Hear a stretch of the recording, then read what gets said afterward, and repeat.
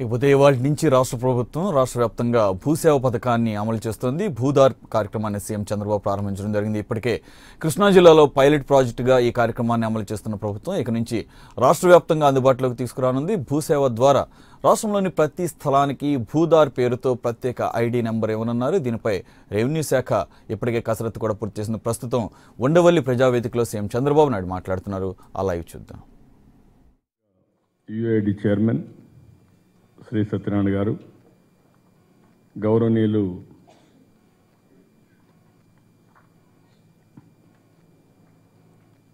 Doctor Manmohan Singh గారు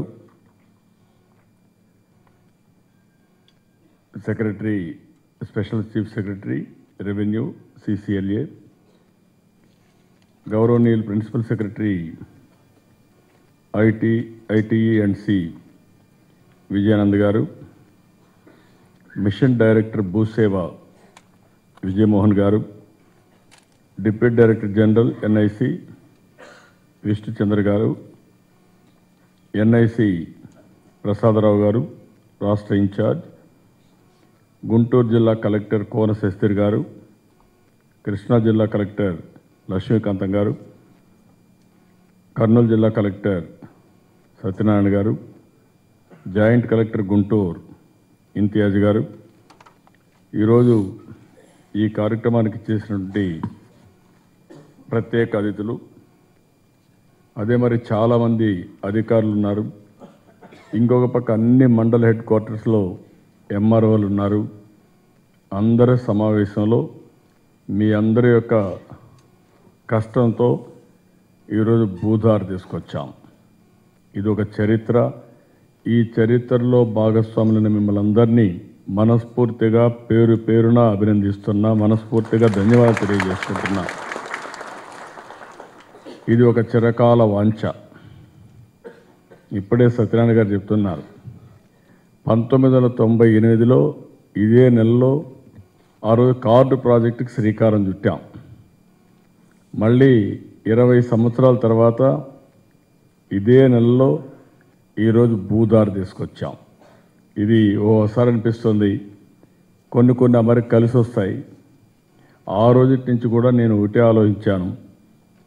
ఈరోజు మీరందరూ ఒకటి చూస్తే ప్రతి ఒక్కరికి అవినీతి రహిత పరిపాలన. ఎక్కడ పోయినా ఒక్క పైసా డబ్బులు తీసుకోకుండా మీకు పనులయ్యే పరిస్థితి రావాల్సిన అవసరం ఉంది. నేను ఎన్నిసార్లు చెప్పినా సిస్టంలో ఒకరిద్దరు తప్పు చేసేవాళ్ళు ఉంటారు. మెజారిటీని మేనేజ్ చేసిన ఒకరిద్దరు తప్పులు చేసేవాళ్ళు ఉంటారు. ఈ సిస్టమ్ వల్ల ఎవరూ తప్పులు చేయడానికే వీలుండదు. నూటికి నూరు శాతం ఫుల్ ప్రూఫ్గా ఒక్క రూపాయి అవినీతి లేకుండా ఈ సిస్టంలో పనిచేసే పరిస్థితి వస్తుంది. దానికి శ్రీకారం చుట్టామని చెప్పి కూడా నేను మీకు తెలియజేస్తున్నా. అన్నింటికంటే అతిపెద్ద సమస్య ల్యాండ్. రాబోయే రోజులు కూడా అతిపెద్ద సమస్య. భూమి. ఇక్కడున్న పర్వాలేదు కానీ హైదరాబాద్ నేను చూసేవాడిని ముఖ్యమంత్రిగా ఉంటే. ఆ రోజు ముఖ్యమంత్రిగా ఉన్నప్పుడు హైదరాబాద్ కలెక్టర్కి చెప్పాను. ఇక్కడ ఆంధ్రప్రదేశ్లో ఉండే భూముల లిటిగేషన్ తక్కువ. తెలంగాణలో ఉండే భూముల లిటిగేషన్ ఎక్కువ. హైదరాబాద్ ఎందుకంటే నిజాం ఉండేవాడు. నిజాం ఒక భూమి ఐదారు మందికి డొనేషన్ ఇచ్చేవాడు. ఐదారు మంది దగ్గర పట్టాలు ఉండేటివి. దానిపైన రాబోయే రోజుల్లో ఆ భూమి అంతా కూడా నిజాం పోయినా లిటిగేషన్ మాత్రం పోలేదు. అది అట్నే కంటిన్యూ అయ్యేది. ఎక్కడ భూమిని ఒక డాక్యుమెంట్ తయారు చేసుకొని ఫోర్జ్ డాక్యుమెంట్ తయారు చేసుకొని ఈ భూమి నాదనేవాళ్ళు అప్పుడు ఫస్ట్ టైం నేను ఆలోచించాను. మొత్తం రెవెన్యూ ఆఫీసర్ని ఎంఆర్ఓని పోస్ట్ చేస్తే ఎంఆర్ఓ ఆఫీసు పో పోయిన వెంటనే ముందు ఆఫీసర్ కూర్చొని ఎక్కడెక్కడ డిస్ప్యూట్ భూములు ఉన్నాయి అన్నీ చూసి రికార్డులో ప్రోబిటరీ బుక్ ఒకటి పెట్టి ఆ బుక్ హ్యాండ్ ఓవర్ చేసి ఈయన ఒకసారి ఇన్స్పెక్షన్ చేసుకొని వచ్చాడు పోయి. ఇన్స్పెక్షన్ చేసుకొని వచ్చి మళ్ళీ ఇంకొక ఎంఆర్ఓకి బాధ్యత అప్పచెప్పాలి చూస్తే మళ్ళీ ఇవన్నీ కూడా ఆ ఎంఆర్ఓకి అప్పచెప్పేవాడు అప్పుడప్పుడు మా వాళ్ళు కొంతమంది అంటూ ఉంటారు మీరు అన్నీ కాపాడారు తర్వాత వచ్చిన నాయకులు మాత్రం మొత్తం రికార్డు చూసుకొని ఫోర్జరీ చేసి మొత్తం కొట్టేశారని చెప్పి నన్ను కామెంట్ చేసేవాళ్ళు. అంత పగడ్బందీగా చేశాం. ఎక్కడ చూసినా గవర్నమెంట్ భూమి అంటే ఒక బోర్డు పెట్టించాం ఈ భూమి గవర్నమెంట్ భూమి. ఎవరైనా ఈ భూమి దగ్గరికి వస్తే మాత్రం మీకు పనిష్మెంట్ ఉంటుంది. జాగ్రత్త అని చెప్పి హెచ్చరిక బోర్డు కూడా పెట్టాం. అట్లా కాపాడాం ఆ రోజు భూముల్ని. ఈరోజు సత్యనారాయణ గారు విజయానంద్ గారు అదే మరి ఇక్కడ మన మిగిలిన విజయమోహన్ గారు ఇంకొక పక్కన ఎన్ఐసి. ఐఎమ్ వెరీ హ్యాపీ ఈరోజు అందరూ కలిసి మన్మోహన్ సింగ్ గారు వీళ్ళందరూ కలిసి one of the best product కంట్రీలో ఎవ్వరూ ఊహించినటువంటి ఈరోజు ఒక ప్రాజెక్టు శ్రీకారం చుట్టారు. మీ భూమి ఎంత ఉందో మీ జోబులు పెట్టుకుని తిరగచ్చు ఇప్పుడు ఇంత మునుపది ఆఫీసర్ జోబీలో ఉండేది కానీ ఇప్పటి నుంచి మీ జోబీలో మీ భూమి పెట్టుకొని ఎప్పుడు డౌట్ వస్తే అప్పుడు చూసుకోవచ్చు కావాలంటే. నా భూమి కరెక్ట్గా ఉందా లేదో చూసుకునే పరిస్థితి వస్తుంది. ఇప్పుడు ఎవరు ఏం చేయలేరు. ఇంకోటి కూడా ఉంది ఇక్కడ బ్యూటీ మీ భార్య భూమి కూడా మీరు కొట్టేయడానికి వీల్లేదు. అది కూడా గుర్తుపెట్టుకోండి. కొంతమంది అనుకుంటారు నా భార్య భూమి కాబట్టి నా భార్య కదా ఏముంటుంది? దొంగ సంతకం పెట్టి ఇచ్చేద్దామి అని కొంతమంది చేస్తూ ఉంటారు. అది కూడా చేయడానికి లేదు ఇక్కడ. ఆవిడ వేలుముద్ర వేయాల్సిందే. ఇప్పుడు ఆవిడ ఏలుముద్ర పెడితేనే రిజిస్ట్రేషన్ చేరుతుంది కాబట్టి భార్యాభర్తలకు కూడా భద్రత ఉంటుంది.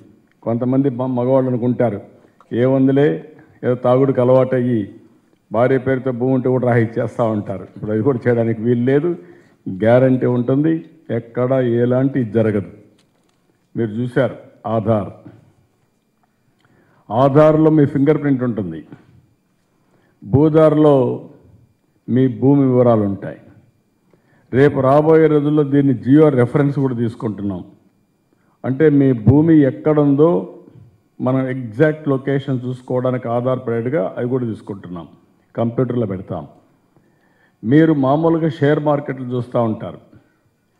షేర్ మార్కెట్ అన్ని డిజిటలైజ్ అయిపోయి ఉంటాయి. నువ్వు ఎవరికైనా అమ్మాలనుకుంటే అమ్మేస్తే ఆటోమేటిక్గా షేర్స్ కూడా ట్రాన్స్ఫర్ అయిపోతాయి. రాబోయే రోజుల్లో మీరు భూమి అమ్మాలన్నా మీ ఆధార్ అంటే మీ వేలుముద్ర కనురెప్పలు ఈ కానీ పెడితే ఇంకోటి కూడా గుర్తుపెట్టుకుని దాంట్లో ఫోర్జరీ చేయడానికి వీలు లేదు. ఒకరి వేలుముద్రలు ఇంకొకరు ఉండవు. ఇంకొక పక్క ఒకరి కనురెప్పలు ఇంకొకరు ఉండవు. ఇంకొక పక్క ఒక ఫేషియల్ రికగ్నిషన్ మీ ముఖం ముఖం కానీ ఒక ఫోటో తీస్తే ఇలాంటి ఫోటో ఇంకొకరు ఇంతమంది ఉన్నారు ఇక్కడ చూస్తున్నారు మీరు. ఇంతమందిలో ఒకరికి భగవంతుడు ఎంత సృష్టికర్త అంటే ఇంత కొన్ని వే జనాభా మనం చూస్తే మన దేశంలో నూట ముప్పై రెండు కోట్ల మంది జనాభా ఉన్నాం. ప్రపంచంలో అమరికి లెక్కేసుకుంటే ఐదు నాలుగు ఐదు వందల కోట్ల మంది ఉన్నాం. కానీ ఒకరి ముఖం మారిగా ఒకటి ఉండదు. ఒకరి వేలు ముద్ర మారిగా ఒక వేలు ముద్ర ఉండదు. ఒక కండ్రెప్పల మారిగా ఇంకొకరి కండ్రెప్పలు ఉండవు. దాని ఆధారంగా ఇప్పుడు ఈరోజు టెక్నాలజీ తీసుకొచ్చారు. అంటే ఎవ్వరు ఫ్రాడ్ చేయడానికే వీలు లేదు. అలాంటి పగడ్బందీ సిస్టానికి శ్రీకారం చుట్టారు. రెండోది మీ భూమికి ఒక క్యూఆర్ కోడ్ ఇచ్చారు. అదే మీ దగ్గరికి ఇప్పుడు ఇచ్చారు. అది మీరు జోబులో పెట్టుకొని మీ ఫోన్లో కానీ స్కానింగ్ చేస్తే ఆటోమేటిక్గా ఆథరైజేషన్ వచ్చేస్తుంది. ఎవరికి కావాలని ఇవ్వచ్చు మీరు. అది మీ ఐడెంటి పాస్పోర్ట్ మీకు. మీరు ఎక్కడికి పోయినా ఇది మీ పాస్పోర్ట్ అనమాట ల్యాండ్ మీద మీ పాస్పోర్ట్ మరుగు ఉంటుంది. ఎవరన్నా తీసుకొని క్యూఆర్ కోడ్ తీసుకొని పెట్టేస్తారని మీకు భయం కూడా ఉంటుంది. పెట్టేసిన పని చేయదు. మళ్ళీ మీ ఏలుముద్ర కావాలి? ఏలుముద్ర వస్తేనే అది పనిచేసే పరిస్థితి వస్తుంది ట్రాన్స్ఫర్ చేసే పరిస్థితి వస్తుంది. ఇలాంటి పగడ్బందీ సిస్టానికి మనం ఈరోజు శ్రీకారం చుట్టాం. నా- నా చిరకాల కోరిక. అన్ని డిపార్ట్మెంట్లే కల్లా మీరు చూస్తే అనవసరంగా రెవెన్యూ డిపార్ట్మెంట్కి చెడ్డ పేరు తీసుకొచ్చే పరిస్థితి వస్తున్నారు. ఇప్పుడు నాకు అనిపిస్తుంది అన్ని డిపార్ట్మెంట్ల కంటే మంచి డిపార్ట్మెంట్గా రెవెన్యూ డిపార్ట్మెంట్ ప్రజలు అప్రిషియేట్ చేసే పరిస్థితికి వస్తారు. ఇది రివర్స్ అవుతుంది. దానికి కారణం ఓసారి అక్కడక్కడ ఒకరిద్దరు తప్పు చేసిన ఇంకొక పక్కన చూస్తే బయట వాళ్ళు తప్పు చేస్తూ ఉంటే పట్టుకోలేని మెకానిజం. భూమి అనేది ఒక టెంప్టేషన్. దానిపైన ఏం చేస్తారంటే వేరేవాడు ఈ పక్క భూమి పక్కన ఆపుకోవడం కానీ దొంగ సర్టిఫికేట్ సృష్టించడం కానీ అవన్నీ చేసినప్పుడు ఇమీడియట్గా యాక్షన్ తీసుకోలేకపోతున్నారు. దానివల్ల కూడా ఇప్పుడు ప్రాబ్లమ్స్ వచ్చాయి. భవిష్యత్తులో ఇవన్నీ కూడా పూర్తిగా కంట్రోల్ అయిపోతాయి. ఇప్పుడు ఇందులో చూస్తే రెవెన్యూ ఉంది పంచాయత్. విలేజ్లో పంచాయతీ ఉంటుంది. మన ఇండ్లన్నీ పంచాయతీ ఆధీనంలో ఉంటాయి. మున్సిపాలిటీ వస్తే మున్సిపాలిటీ ఆధీనంలో ఉంటాయి. మున్సిపాలిటీలో ఉండే ఇండ్లన్నీ. రెండోది రిజిస్ట్రేషన్ ఒకప్పుడు రిజిస్ట్రేషన్కి పోతే మీకు చాలా సమస్యలు. ఒక భూమి కావాలి కొనుక్కోవాలి. అప్పుడు ఆ ఉండే రిజిస్ట్రార్ ఏ రేటు చెప్తే ఆ రేటు ఒకవేళ ఆయన మాట నేసి మీరు లంచాలిస్తే తప్ప రిజిస్ట్రేషన్ చేరిన అభిప్రాయం ఉంది. ఇప్పుడు ఇంకే బాధ లేదు. మీరు రిజిస్ట్రేషన్ చేసుకోవాలంటే భవిష్యత్తులో రిజిస్ట్రేషన్ ఆఫీసులు అవసరం లేదు ఆన్లైన్లో రిజిస్ట్రేషన్ అయిపోతుంది. మీ వేలు ముద్ర పెడితే ఆటోమేటిక్గా అయిపోయే పరిస్థితి వస్తుంది. కాబట్టి ఇక్కడ పూర్తిగా కరప్షన్ కంట్రోల్ అయిపోతుంది. ఒకప్పుడు మీరు రిజిస్ట్రేషన్ అయిన తర్వాత మ్యుటేషన్ మళ్ళా పోయి సర్వే నెంబర్ అంతా కూడా సబ్ డివిజన్ చేయాలి. సబ్ డివిజన్ చేసిన తర్వాత మళ్ళా అది రావాలి. వచ్చి ఇవన్నీ ప్రాసెస్ అన్నీ మళ్ళీ ఎంఆర్ఓ ఆఫీస్ పంపించాలి. రికార్డ్స్ అప్డేట్ చేయాలి. ఇవన్నీ కూడా మళ్ళా టెన్ వన్ అని అడంగలని. నాకు ఇప్పుడు కూడా అర్థం కాదు. నేను రెవెన్యూ మినిస్టర్గా కూడా చేశాను కానీ ఆ రోజు బ్రిటిష్ వాళ్ళు పెట్టిన లెక్కలు మళ్ళీ బ్రిటిష్ వాళ్ళు అడిగితే తప్ప చెప్పే పరిస్థితులు లేరు.